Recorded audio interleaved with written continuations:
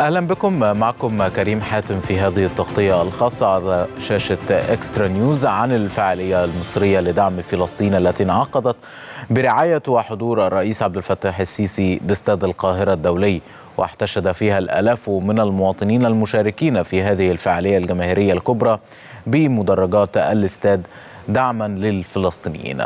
أبقوا معنا.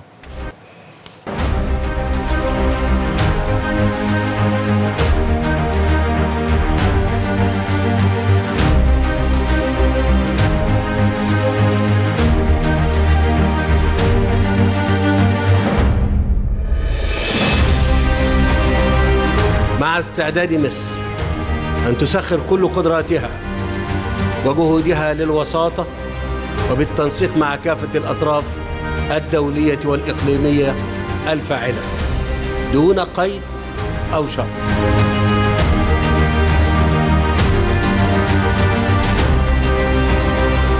وهو ما يستوجب تسهيل وصول المساعدات الإنسانية لأبناء الشعب الفلسطيني بشكل عاجل.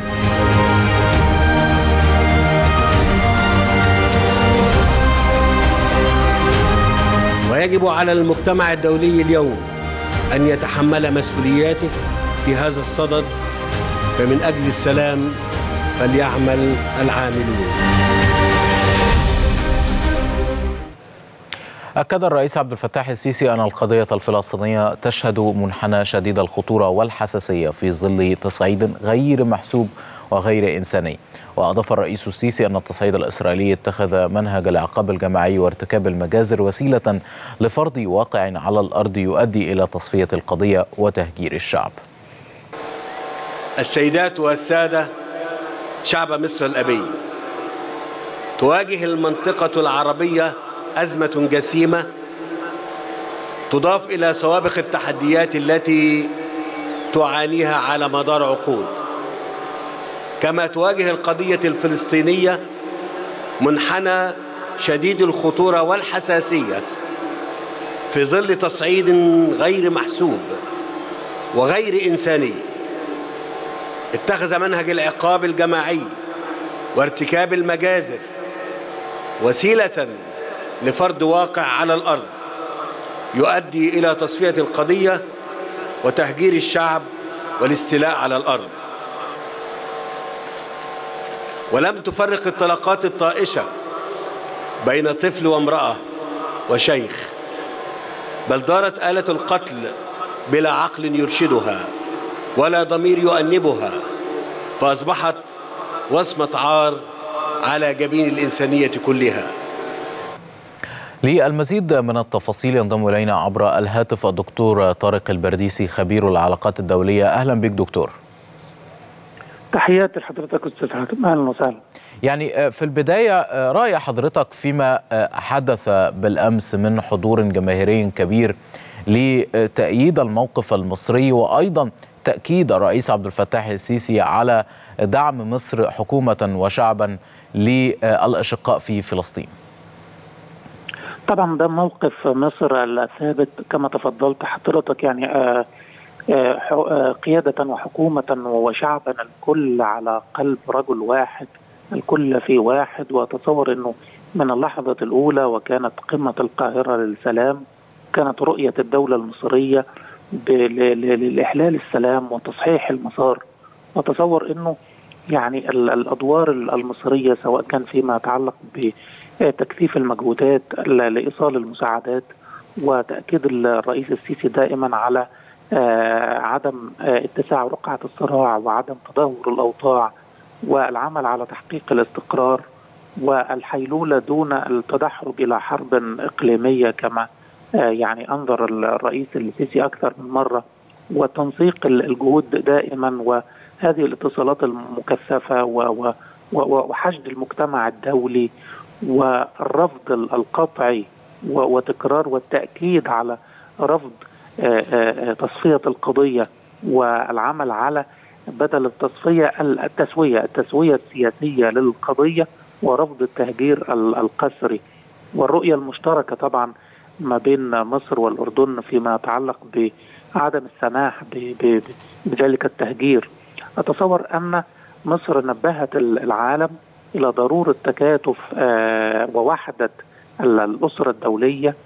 وحتى يعني لأنه التنظيم الدولي يعني يكاد يفقد أو بالفعل قد فقد مصداقيته لأنه لم يستطع أن يوفر الأمن والأمان، لم يستطع أن يحفظ السلم الدولي، لم يستطع أن يحفظ حياة الفلسطيني، أتصور إنه يعني نحن لا نتحدث عن عدالة أو مساواة وإنما نتحدث فقط عن الحد الأدنى من من حكمة التنظيم الدولي وهو حفظ السلم والأمن الدوليين. نعم. مصر كانت بتتحرك دائما من أجل يعني فكرة إحياء السلام والأمل مرة ثانية إحتواء تلك التطورات المتسارعة وإحياء الأمل بالتعرف على الجذور الحقيقية للمشكلة.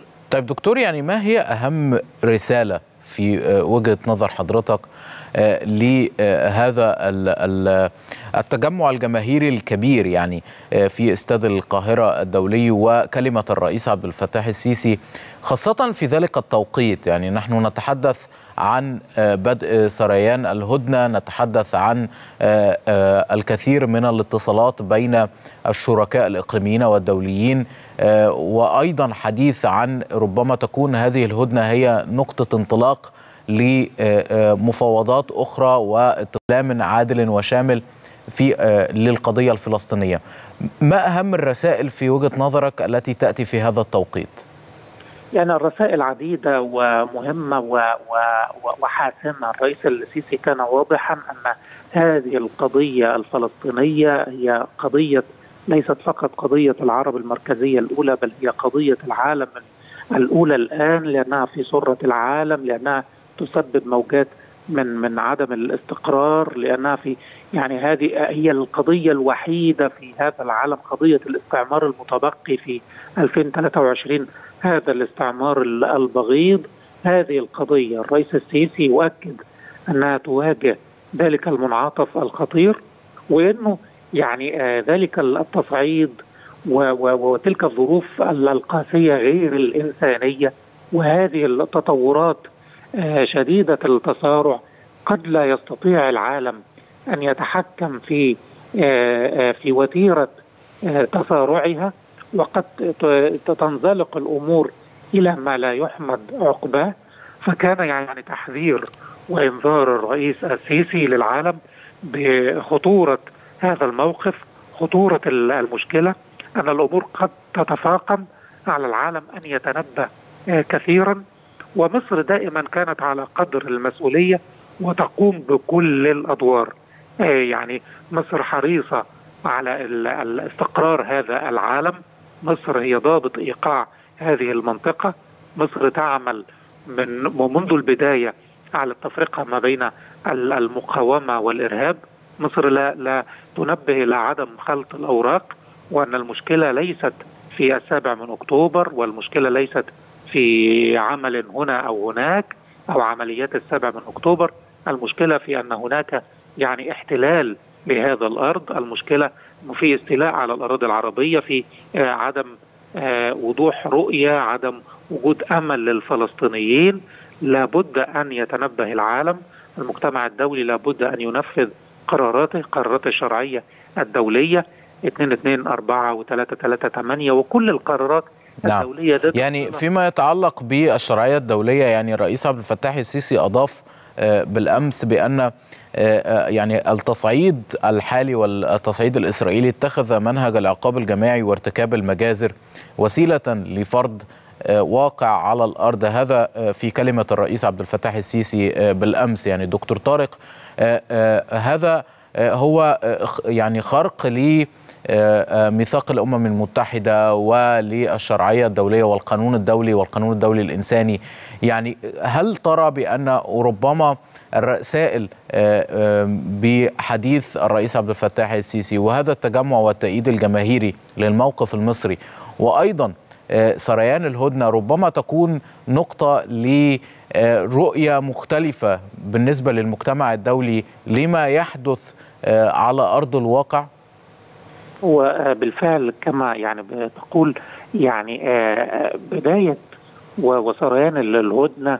وأتصور إنه ليس فقط يعني لكي يتنفس الفلسطينيون الصعداء وانما لكي يتعقل العالم وتبقى هناك يعني وقفة مع النفس للتفكير بعقلانيه، الأمر ليس فقط في رفع الظلم عن الفلسطيني بل أيضا في استقرار هذا العالم لأن الظلم واستمرار هذه المجازر لن يولد إلا موجات من عدم الاستقرار.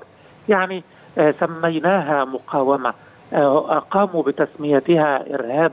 ايا ما كانت التسمية المهم ستستمر وستتولد موجات من من من عدم الاستقرار وموجات من العنف.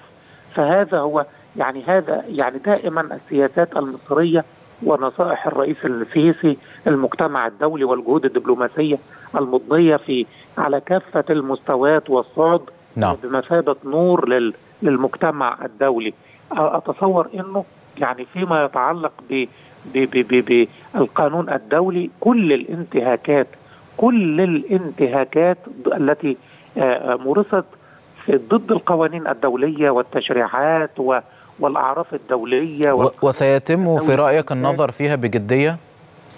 نعم سيتم النظر فيها بجدية في وجهة نظرك؟ من قبل المجتمع الدولي؟ نعم لا المجتمع الدولي مصر دائما عندما هي تسعى بهذه الأدوار من منطلق يعني مسؤولياتها م. أما فيما يتعلق بتحقيق النتائج فالعالم من المفروض أن يتحلى بال بال بالرشد والعقلانية وأن يتعرف على يعني خطورة هذه المواقف واستمرار هذه المجازر خاصة أن نصائح الدولة المصرية دائما كانت يعني آه كانت يعني نبراسا ومنارة وتحققت كل ما ذكرته الدولة المصرية من خلال أجازتها المعنية كانت بمثابة يعني حكمة نتيجة للخبرات التراكمية ومعارف الدولة المصرية في في في مثل هكذا مواقف. أتصور إنه عندما نبه الرئيس السيسي من البداية على أنه لابد من من التعرف على الجذور الحقيقية ومن أنه لا المشكلة وأنه لا يمكن التصفية لابد من يعني تسوية عادلة لهذه القضية. عندما يعني ادانت مصر في المجتمع الدولي وحتى يأتوا افواجا من من من كل فج عميق وحتى يعني يستيقظوا من ذلك السبات وانه هذا هذا الصمت العالمي وهذا وعدم الاكتراث لن يأتي إلا بالمشاكل وموجات عدم عدم الاستقرار وأنه الدول الكبرى لابد أن تكون كبرى في تصرفاتها وفي مسؤولياتها وأنه يعني هذه هذه ذلك التواطؤ وهذه الشراكة في هذه المجازر الإسرائيلية لن تأتي إلا بمزيد من العنف وإنه على المجتمع ان أن يحقق ذلك الاصطفاف الاصطفاف الدولي هو يعني طوق النجاة وهو سفينة النجاة نعم. وهو الانتقال يعني يحقق هذه النقلة إلى إلى إلى إلى إلى أفاق التنمية والمستقبل ويمكن كانت قمة القاهرة للسلام عندما عقدت في القاهرة الإدارية في العاصمة الإدارية الجديدة كانت هي المكان لافت إنه مكان حيث التنمية والمستقبل والنهضة والعمران يعني نقلة من من الخراب إلى العمران وإلى إلى إلى آفاق المستقبل الجديد. وتنبيه الرئيس السيسي أكثر من مرة إلى انه هذا امتحان للإنسانية. نعم. وعلى الإنسانية ألا ترسب في هذا الامتحان. أتصور إنه كانت يعني الأدوار المصريه وكل الأجهزة بالقمة الدبلوماسيات القمة الرئاسية ووزاره الخارجية والأجهزة المعنية الأمنية وكل يعني قام بهذه الأدوار والكل في في على قلب رجل واحد يريد يعني آه تحقيق آه تحقيق تسوية عادلة لهذه القضية حتى يتم يعني استقرار العالم. نعم. لأنه أنا الواحد أدعي أن هذه القضية المركزية المزمنة التي استمرت عقود هي يعني الرحم الكبير لخلق آه أجيال وخلق موجات يعني كثيرة من من من العنف وعدم الاستقرار. نعم الدكتور طارق البرديسي خبير العلاقات الدولية كنت معنا عبر الهاتف. شكرا جزيلا لك. من فوقنا من سابع سما شاهد على الأحداث فات سنين قصتنا عايشة محفوظة وسط الناس. أبطال تعيش وتضحي لأجل الحلم والأجيال. ولأجل أرض اختارها رب ما يمسهاش خناس. عايزين يصفوا حلم أمة بتحلموا لسنين. يفرقوا الشم اللي ما يقدر عليه القادرين الأرض أرض علمها حر واسمها فلسطين.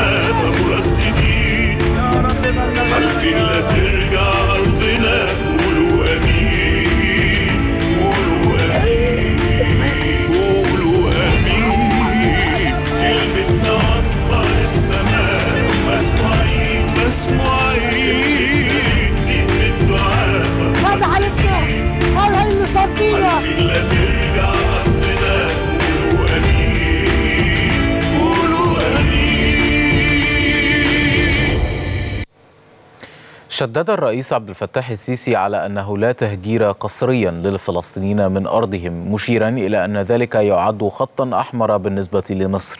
وفي كلمته خلال الاحتفالية المصرية لدعم الفلسطينيين أشار الرئيس السيسي إلى اختلاف وضع الفلسطينيين عن الضيوف والأشقاء القادمين من دول أخرى والذين بلغ عددهم تسعة ملايين ضيف في مصر.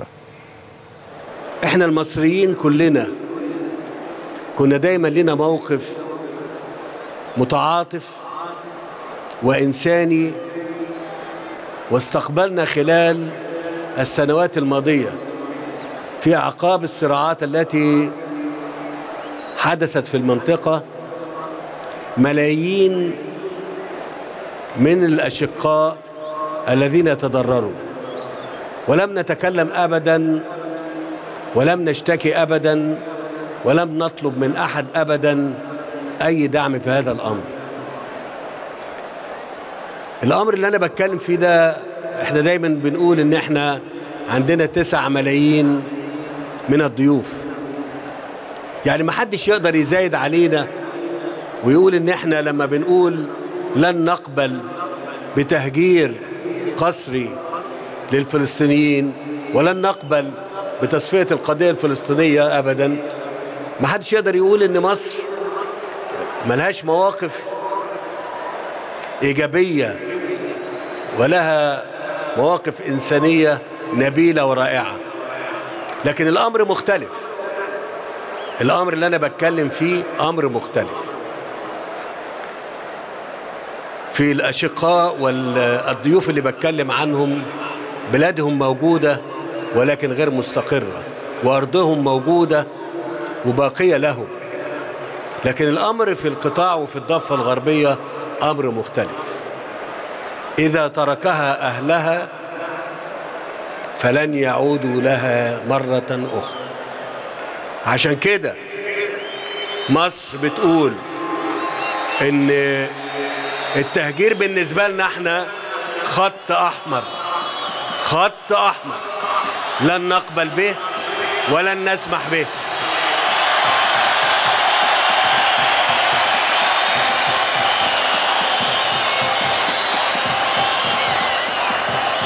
إحنا كنا دايما بنتكلم بهدوء وبحكمة وبصبر وبتعقل بس ما حدش يتصور أبدا إن ده معناه ضعف أو تهاون.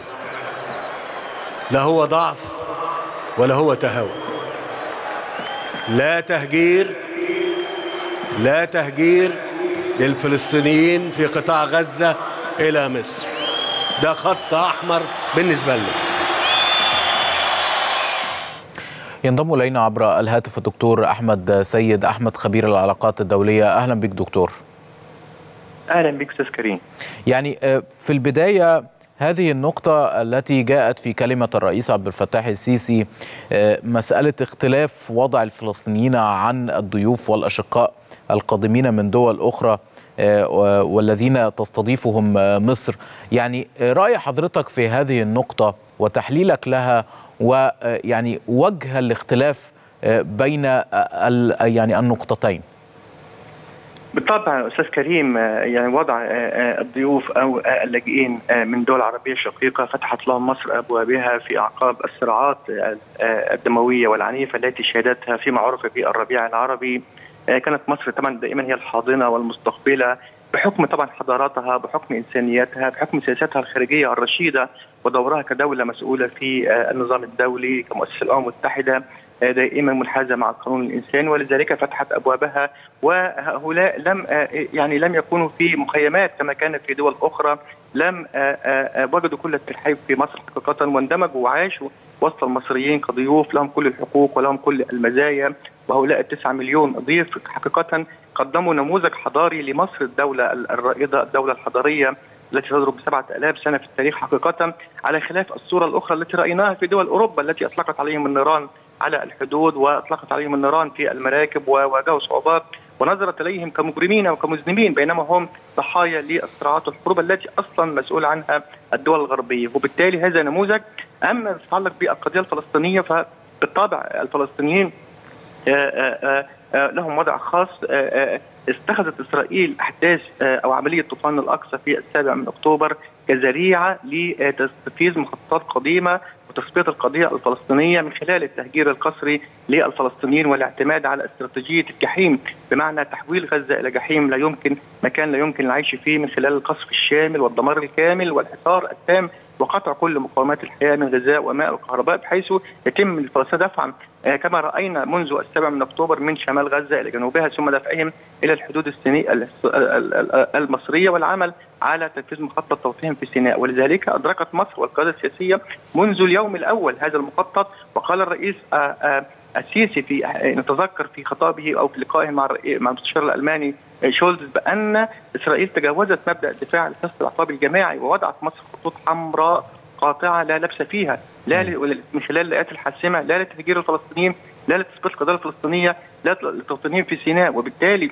إسرائيل تسعى لتفريغ القطاع من سكانه من 2.5 مليون نسمة. وبالتالي القضاء تماما على ما يسمى ال- الدولة الفلسطينية أو حل الدولتين أو حقوق مشروعة للشعب الفلسطيني. وهؤلاء الفلسطينيين هم تعرضوا للنكبه في السابق في 48 عندما خرجوا لم يعودوا مرة أخرى وبالتالي ال- كانت مصر واعية انحياز مصر وضعها خطوط حمراء وانحياز للقضية الفلسطينية والحفاظ على الحقوق المشروعة للشعب الفلسطيني أن يعيش في دولة كحقه كبقية شعوب العالم وأن ينتهي الاحتلال. ولذلك كانت المقاربة المصرية أن الحل ليس في التهجير القسري وأن الحل الذي يوفر الأمن ومصالح جميع الأطراف والأمن الإسرائيلي هو حل السلام العادل والشام هو. نعم. حل القضية الصراع من جذوره لأن ما حدث وعرض لمرض المرض هو استمرار الاحتلال غياب أفق التسويه السياسية والرئيس السيسي حذر مرارا وتكرارا منذ أوقات مبكرة بأن القضية الفلسطينية هي مفتاح الاستقرار في المنطقة، إذا أراد الجميع أن يتحقق بتعايش وت- و- و- وتتعايش المصالح والشعوب وأن هناك بيئة طبيعية للتعاون والازدهار والتنمية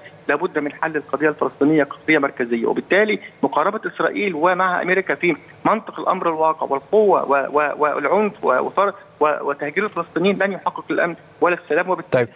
تستمر المنطقة في دوامة من الصراعات التي يدفع ثمنها الأبرياء نعم. والمدنيين. طيب دكتور أحمد يعني آه، الجهود المصرية آه، كان لها آه، يعني نقطتان أو شقان ربما ال- الأول ال- الشق الإنساني في ال- المساعدات الإغاثية التي كانت تذهب إلى قطاع غزة من آه، آه، معبر رفح والمساعدات الكبيرة التي آه، يعني أطلقتها مصر من خلال الشاحنات التي كنا نراها خلال الأسابيع الماضية وأيضا بالتأكيد المستمرة.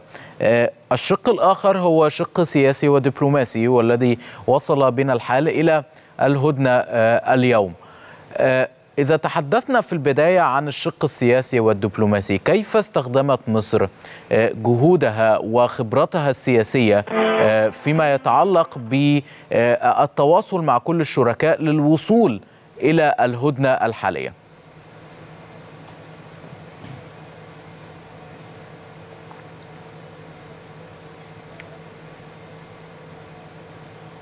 دكتور أحمد؟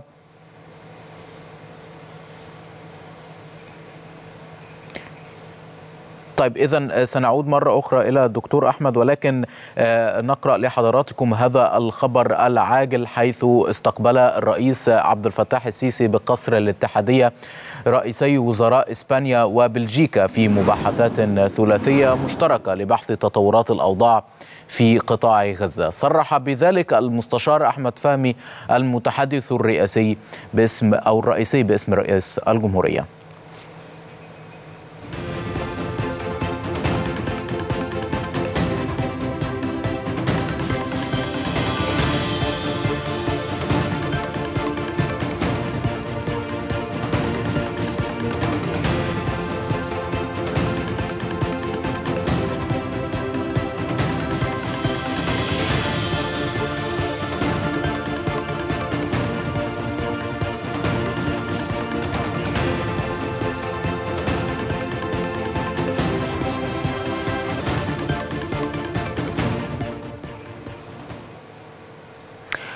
نعيد على حضراتكم هذا الخبر العاجل حيث يستقبل الرئيس عبد الفتاح السيسي بقصر الاتحادية رئيسي وزراء إسبانيا وبلجيكا في مباحثات ثلاثية مشتركة لبحث تطورات الأوضاع في قطاع غزة. صرح بذلك المستشار أحمد فهمي المتحدث الرسمي باسم رئاسة الجمهورية.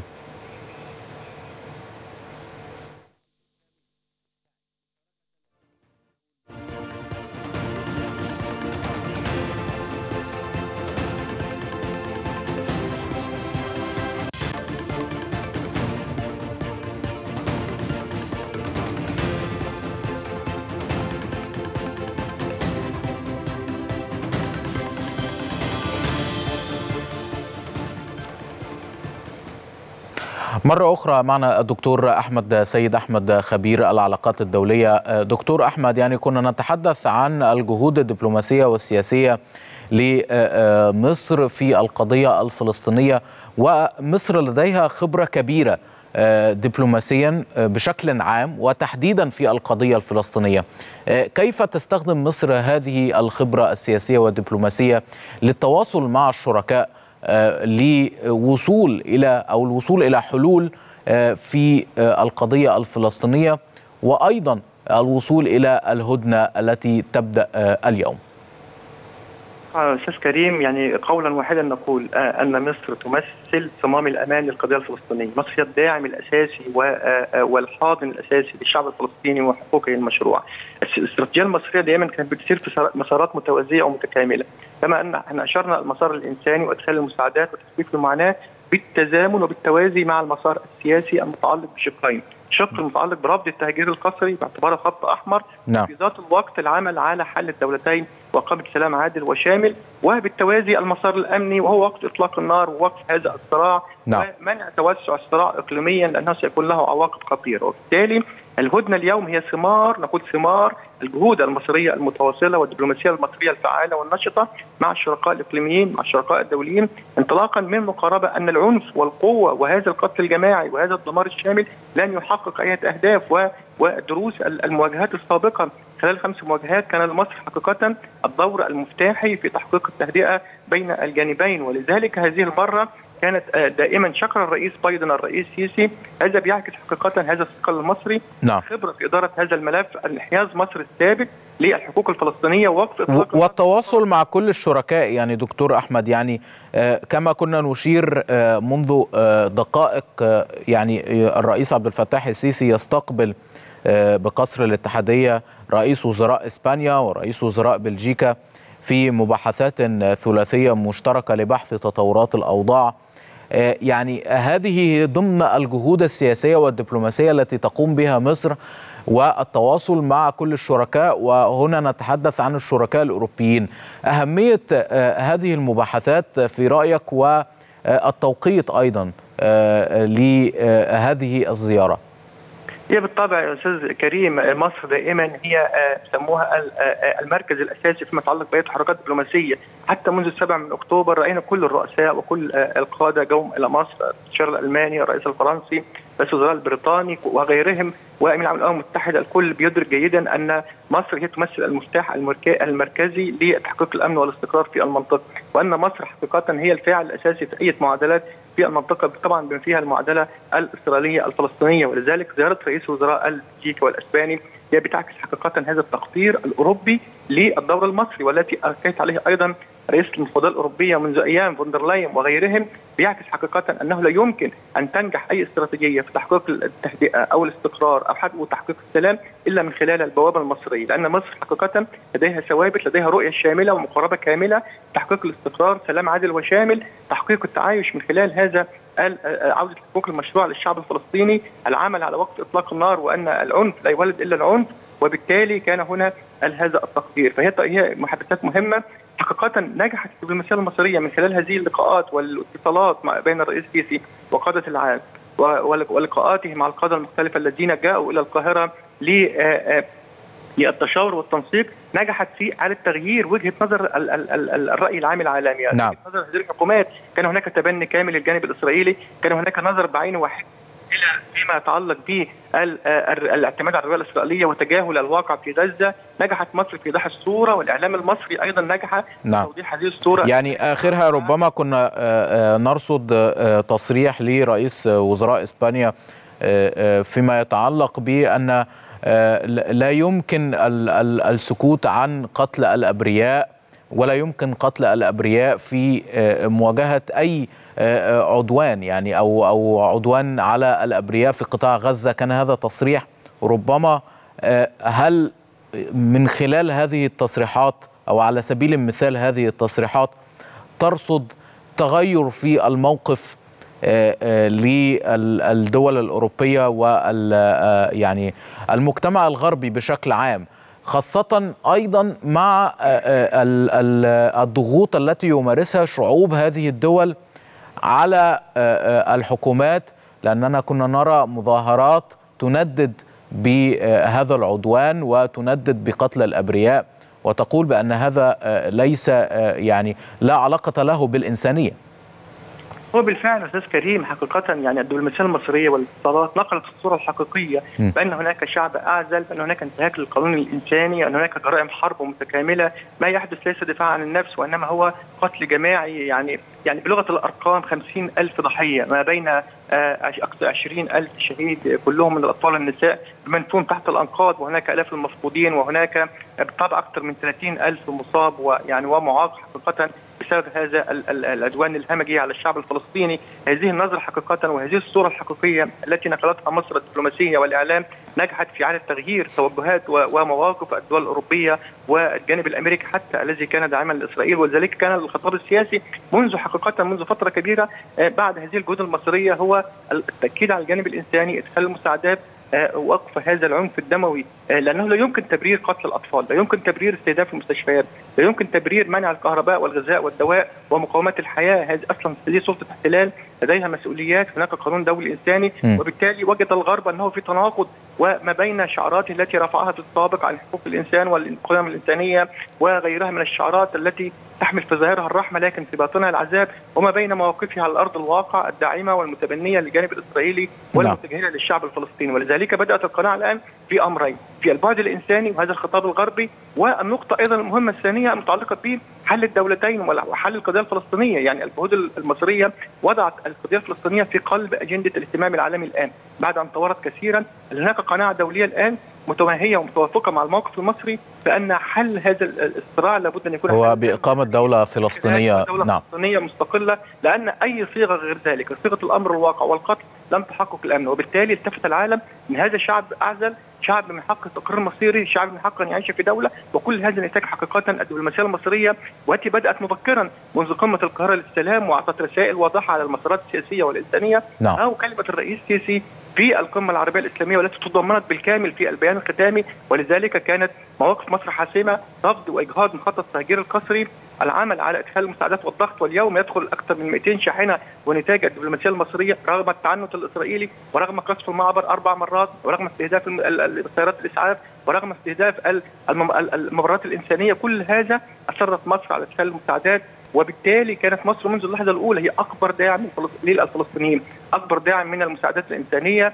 أيضا هذا الدعم الإنساني عكس التلاحم ما بين الشعب المصري وبين القيادة السياسية والدولة المصرية. رأينا حياة كريمة التحالف الوطني غيرها من منظمات المجتمع المدني التي تهبت وعكست هذا أن القضية الفلسطينية في ضمير كل مصري. هي نعم. في ضمير الدولة المصرية وبالتالي كانت كلمة الرئيس السيسي امبارح حقيقه هي تمثل تتويج بلوره للموقف المصري الثابت والداعم للشعب الفلسطيني ولحقوقه المشروعه نعم الدكتور أحمد سيد أحمد خبير العلاقات الدولية كنت معنا عبر الهاتف. شكرا جزيلا لك.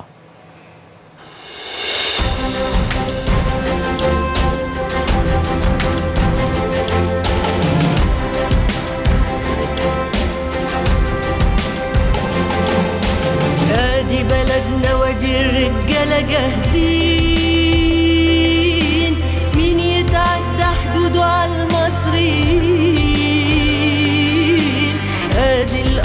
الأرض وادي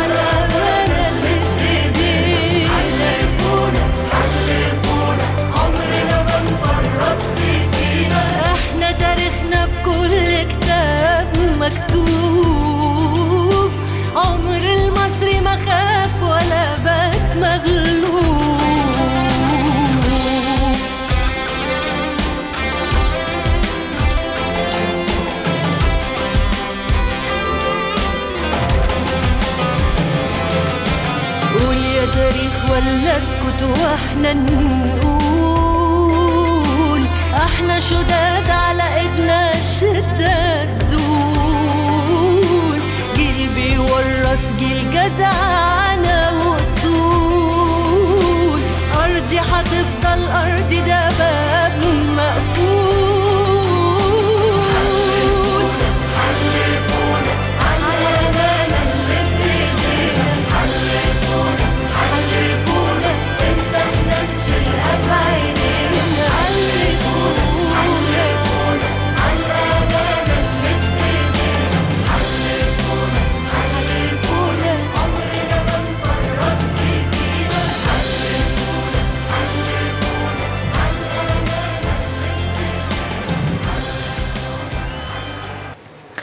أكد الرئيس عبد الفتاح السيسي أن مصر عازمة على المضي قدما في مواجهة هذه الأزمة متمسكة بحقوق الشعب الفلسطيني التاريخية وفي مسعى للحفاظ على الأمن القومي المقدس. شعب مصر الكريم أؤكد لكم بعبارات واضحة وكلمات صادقة بأننا عاقدون العزم على المضي قدما في مواجهة هذه الأزمة. متمسكين بحقوق الشعب الفلسطيني التاريخية وقابضين على أمننا القومي المقدس. نبذل من أجل ذلك الجهد والدم متحلين بقوة الحكمة وحكمة القوة. نبحث عن الإنسانية المفقودة بين أطلال صراعات صفرية. تشعلها أصوات متطرفة تناست أن اسم الله العدل.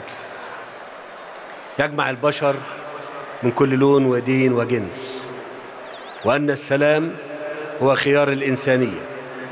ولو ظن أعداؤها غير ذلك ولندعو الله أن يكلل جهودنا من أجل السلام بالنجاح وتضحياتنا من أجل الإنسانية بالتوفيق. مصطفين من أجل الوطن وأمنه تجمعنا القضية وثوابتها. وتحيا مصر وتحيا فلسطين. للمزيد انضم إلينا عبر الهاتف الدكتور محمد منصور الباحث بالمركز المصري للفكر والدراسات. أهلا بك يا فندم. تحياتي لحضرتك وللسادة المشاهدين. يعني في البداية كيف تعكس كلمة الرئيس عبد الفتاح السيسي بالأمس الرؤية المصرية والجهود التي قامت بها الدولة المصرية تجاه القضية الفلسطينية تحديدا في الأسبوعين الماضيين للوصول إلى يعني هدنة تبدأ اليوم. يعني بالتأكيد كلمة السيد الرئيس يعني أمس كانت أعتقد إنها تتويج أو اكمال لجهود مصرية بدأت يعني حتى لم تبدأ في الأسبوعين الماضيين فقط بل كانت منذ بداية من اليوم الأول لاندلاع الأحداث في قطاع غزة جهود على المستوى السياسي، جهود على المستوى الاغاثي والانساني، جهود على المستوى الدبلوماسي في التواصل مع كافة الأطراف. هذا الجهد المصري متعدد الاتجاهات أثمر عن وطبعا نتحدث هنا عن جهد مصري بالتعاون مع الأطراف الدولية نعم. والعربية وهناك جهد للتواصل مع الشركاء يعني بالتأكيد نعم. لأن يعني الذهنية المصرية في التعامل التعاملات الخارجية منذ عام 2014 وحتى الآن كانت ترتكز على التعاون تعظيم العمل العربي المشترك التعاون مع كافة الدول لأن الهدف هو النجاح. الهدف هو الوصول إلى نتيجه وليس الهدف أي شيء آخر له علاقة مثلا بالدعاية أو محاولة التصدر أي مشهد ايا كان. الهدف هو المصلحة. وهنا نتحدث عن مصلحة فلسطين ومصلحة غزة وهو ما أنتج المشهد الذي نراه اليوم. وهو مشهد يجب النظر إليه ب يعني نظرة مركبة. بمعنى أننا نتحدث عن هدنة. يعني نتحدث عن هدنة. وقفت بالفعل فيها العمليات العسكرية على أرض غزة. نتحدث عن اتفاقية للتبادل تبادل الأسرى إنجاز هذا التعبير ما بين فصائل الفلسطينية وبين إسرائيل. نتحدث أيضا عن إدخال أو أو أو يعني اتفاق على الإدخال أكبر قدر من المساعدات المتنوعة بما في ذلك الوقود السولار والبنزين وغيرها. بشكل يومي نتحدث عن 130 ألف لتر سولار نتحدث عن 200 شاحنة يوميا وهو عدد يعني لم يكن يعني خلال الأيام الماضية كانت إسرائيل لا تسمح إلا بعدد قليل ومصر ضغطت بشكل قوي في هذا الاتجاه حتى نصل إلى معدل أقوى وأفضل من معدلات دخول المساعدات إلى القطاع وبالتالي المشهد العام هو مشهد يتكون من ثلاثة اتجاهات إغاثية وتتعلق بوقف إطلاق النار وتتعلق أيضا باتفاقيه التبادل واتفاقيه التبادل في نظري يعني أهميتها لا تنبع فقط من أنها تتعلق بجانب إنساني هناك أطفال ونساء يتم تبادلهم ما بين الجانبين ولكن نتحدث عن أن هذا الاتفاق هو مقدمة يمكن البناء عليها من أجل إنهاء الوضع القائم حاليا لأن ما حدث في غزة خلال الفترة الماضية كان كبيرا على المستوى الإنساني نعم. ضحايا كثر أزمة إنسانية كبيرة ولكن نحن بدأنا اليوم بعد أكثر من 40 يوم نرى ملامح واضحة بإمكانية نعم. لأنه لا يمكن يعني بالتأكيد وكما تعلم يعني أستاذ محمد بأن لا يمكن الحديث عن مفاوضات إلا بعد وقف إطلاق النار يعني وقف إطلاق النار يعتبر هو نقطة مفصلية مهمة آه، آه، نقطة بداية لأي مفاوضات بعد ذلك يمكن أن تحدث. ستحدث بناء على الهدنة التي حدثت. أيضا الرئيس عبد الفتاح السيسي يعني كما أشرت هو يعني هناك تواصل مع الشركاء واليوم هناك تواصل واستقبال لرئيس وزراء بلجيكا ورئيس وزراء إسبانيا. اذا الجانب الأوروبي أيضا آه، موجود في التواصل وموجود في آه، آه، يعني التباحث آه، مع الدولة المصرية. ومصر دائما آه، يعني تتواصل مع كل الشركاء كيف ترى آه، هذه المباحثات. في إطار الهدنة وإطار بأنها تكون نقطة بداية لأي مفاوضات تأتي بعد ذلك. يعني أود أن أشير إلى نقطة هامه تتعلق باتفاقية أو هذا الاتفاق الذي توصلت إليه آه، مصر وقطر مع الأطراف المنخرطه في هذه الأزمة وهو أن أهمية هذا الاتفاق تنبع من انه تم فعليا في خضم الأزمة. بمعنى أن دائما اتفاقات التبادل في المرات السابقة كانت تتم بعد وقف إطلاق النار بمدة بمدة طويلة. لكن نحن نتحدث عن أن الاتفاق تم التوصل إليه طبعا بصعوبة ولكن تم التوصل إليه والأزمة ما زالت آه، يعني نحن في خضمها. وبالتالي أهمية هذا ال- الاتفاق تجعله مقدمة مهمة يمكن البناء عليها وأعتقد أن الموقف الأوروبي والتواصل الأوروبي مع مصر والمواقف الأوروبية بشكل عام بدأ يحدث فيها حالة من آه، محاولة مواكبة الحدث لأن أوروبا ومعظم الدول الأوروبية كانت منذ البداية مواقفها كانت رمادية وغير واضحة فيما يتعلق بما يحدث في غزة. وبالتالي نحن بدأنا يعني نتلمس اهتماما اوروبيا متزايدا بما يحدث مواقف مهمة يمكن البناء عليها وأعتقد أن الدور المصري في. في الوصول إلى نتيجة جيدة وإيجابية على المستوى الميداني.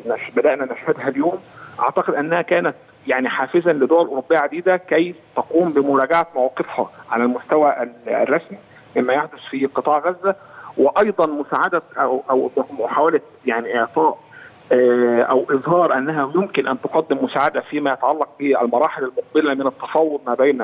آه، الجانب الفلسطيني والجانب الإسرائيلي لأن نحن نحن في البداية وهناك جولات من التفاوض سوف تحدث لأن مصر لا تستهدف حتى إنهاء الوضع القائم فقط، نحن نتحدث عن حل شامل وعادل للقضية الفلسطينية. نعم. وهو ما تؤكد وهذا ما دا يعني م- ما يأتي دائما في كلمة الرئيس عبد الفتاح السيسي في كل المواقف وفي كل المحافل الدولية بأن يعني كلمة حل الدولتين دائما ثابتة في كلمة الرئيس عبد الفتاح السيسي عند الحديث عن القضية الفلسطينية. صحيح لأنه لا يمكن يعني حتى محاولات اختزال ما يحدث في فلسطين على أنه وضع في قطاع غزة يجب أن نوقف النار ثم نقوم ب يعني بتحت الأوضاع الإنسانية. وانتهى الأمر على هذا الوضع. أعتقد أن هذه التهنئة هي ما تسببت في الوصول لما نحن فيه الآن.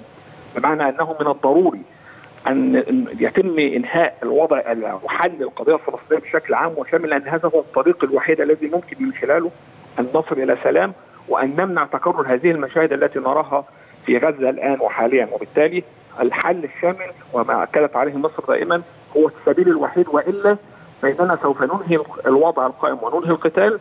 ونستعد إلى جولة قادمة من القتال وهو ما يعني لا ترغب فيها أي طرف وحتى الأطراف الدولية حاليا ترى جيدا أن مخاطر استمرار هذا الوضع في قطاع غزة لا يمكن القبول بها في المرحلة المقبلة خاصة أن هذه ما يحدث في غزة أصبح له انعكاسات على المستوى الإقليمي والدولي لا يمكن تجاهلها خاصه في ظل الوضع العالمي على المستوى السياسي وعلى المستوى الجيوسياسي وعلى المستوى الاقتصادي حتى. وبالتالي آه، يعني أهمية غزة وأهمية الوضع في فلسطين أصبحت واضحة للجميع والجهد المصري كان اساسيا في إظهار آه، مخاطر الوضع القائم. نعم. محمد منصور الباحث بالمركز المصري للفكر والدراسات كنت معنا عبر الهاتف. شكرا جزيلا لك. إلى هنا مشاهدينا ختام هذه الساعة من التغطية ولكن التغطية دائما مستمرة مع حضراتكم على شاشة إكسترا نيوز. بعد قليل تلتقون مع الزميلة سمر الزهيري لكن مني أنا كريم حاتم. إلى اللقاء.